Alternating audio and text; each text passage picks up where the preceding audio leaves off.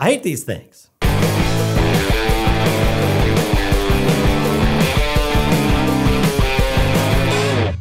Hey, quick episode. Uh, actually, it won't be a quick episode because I got so much to cover, so I'm going to talk really fast and hopefully you can keep up. First of all, uh, a couple episodes ago, I said I was going to cover that jib craning thing from Glide Gear that you put on a Steadicam vest and an arm and you walk around, you can take jib craning shots and it's awesome. I also said I was going to cover that Konova thing that you mount on top um, and it's a tracking axis uh, master axis tracker. I forget what it was called. Those are cool. Uh, the one allows you to take crane jib shots, whatever, by yourself and uh, while moving.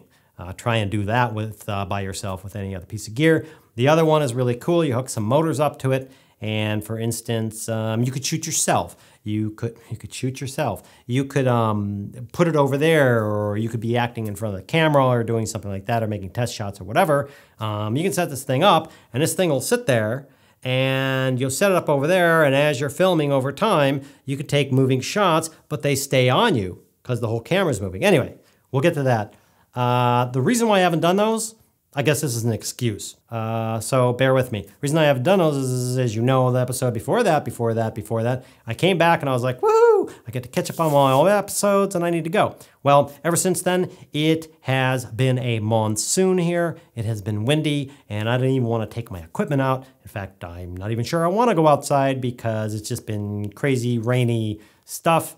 And uh, I'm not going to go out, take all this stuff outside and show you how, uh, hey, here's what crappy rainy shots look like that you can't see because it looks like crap. So I'm kind of holding off on that. I'm to have to go out and shoot those really quick. Um, but I want to show you outside shots. I don't want to shoot inside shots. I mean, they work for the inside, but who wants to use a jib in the house? They want to go outside and shoot cool things in the forest. So that's number one. Uh, number two. Oh, yeah.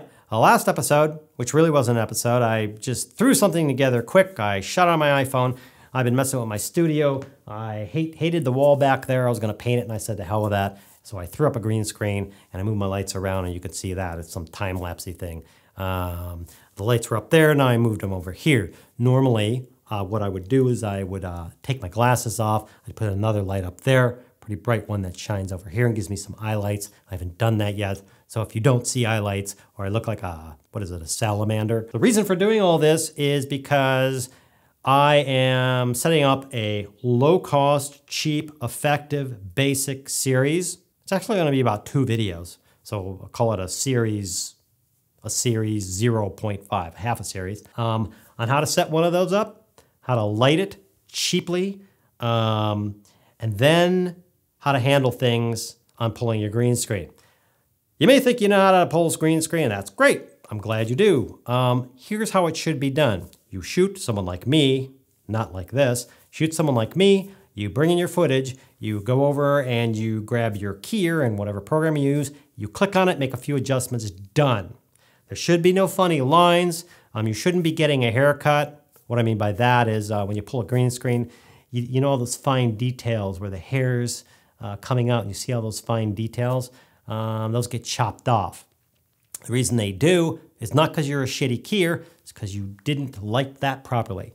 I'm also going to show you a very cheap tool. I mean, we're talking a couple of dollars on how to make sure that green screen is lit. What you see with your eyes, like right now, it's, uh, sort of okay. If I tried to pull a green screen on that, it would look like crap. Um, it needs to be evenly lit all the way across at a certain percentage. I'm going to show you how to do that really cheaply. The end product of that is you go, hey, I think I'll shoot a green screen. It's really easy. You set it up, bam, bam, bam. You uh, uh, shoot it, you pull your footage in, you go get your keyer, you take your little dropper, go boom, it goes away, you make a few minor adjustments, you drop in your background or whatever, and you're like, wow, I'm a Hollywood keyer. Okay, maybe not, but pretty damn close. Um, but you'll look like a pro and it's really, really basic. Uh, what's the other thing? Green screen, the things, the thing. Oh yeah, uh, back to glasses. Glasses. I really do hate these things. I don't like shooting with them on. Um, as I said, I'm not done here yet. I have a few lighting things to do. Uh, but here's some tips.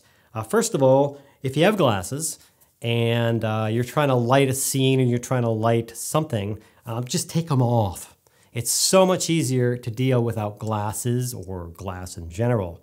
Um, so that's the easiest thing. If you have talent um, and they can't see with them off, then they can wear contacts, which is okay because obviously, if the uh, director's sitting there uh, 10 or 20 feet away, they're giving them direction or they're giving them cues. Uh, which, when the scene rolling, is kind of a bad idea, but we'll get into that later. They're trying to hit marks and things. If they can't see, that's bad. They trip over things and they get hurt, uh, and that's really bad. Uh, the other thing you can do is you can take the glass out. Um, taking glass out is cool in comedies. Uh, it looks kind of quirky. Maybe the guy's a nerd. Maybe the guy where he's a hipster or whatever the latest word for that thing is. Um, and that's cool in a comedy. And a dramatic thing, if you take the glass out, and um, that's cool. You shoot it. Everybody sets up their lights. Lighting people are happy. The DP is happy. The cameraman's everybody's happy. Oh, we can just shoot away. And this guy has this thing with no glass. We don't have to worry about lights. I'm to warn you. Uh, what happens is then you hand it over to your editors and your compositors that may be one or 20 or 500 people. Um, and then they see this footage, uh, a not comedy footage, and the guy's not trying to be quirky without any glass in there. And they realize that they're going to have to spend innumerable hours tracking the eyes and putting in glass on the talent throughout the whole thing um, because there's no reflection of the uh, environment that is really going to piss him off. In fact, editors and compositors are known to secretly keep bazookas in their offices for just such an incident. And when you do that, they will actually find you and they will shoot you with a bazooka in the head and blow all your brains against the wall. Um, you think I'm joking? Uh, try it sometime and let me know if you live.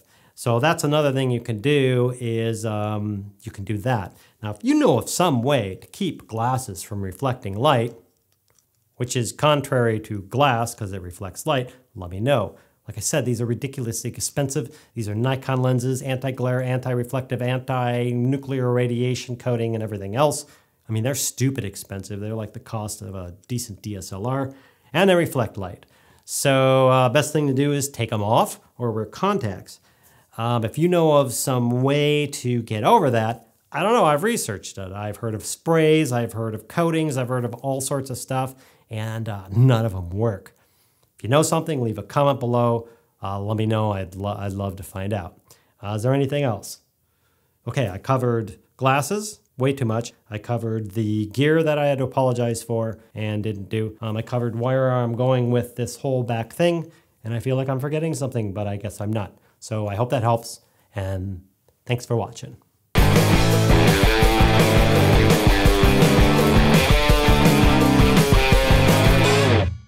So one thing you can do is you can take the glasses off and then you can drop them on the floor. and then um, you can stamp on them and crush them into the floor. And then you can uh, come back to your senses and then you can realize that you need to drive to the store and you need to pick up some glasses because you just crushed your ridiculously expensive glasses.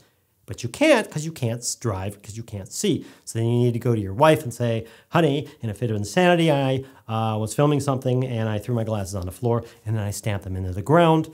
Um, could you drive me to the store, please? Um, and oh, by the way, they're going to cost a ridiculous amount of money to replace them. And uh, I love you and thank you for marrying me and tolerating uh, my bullshit.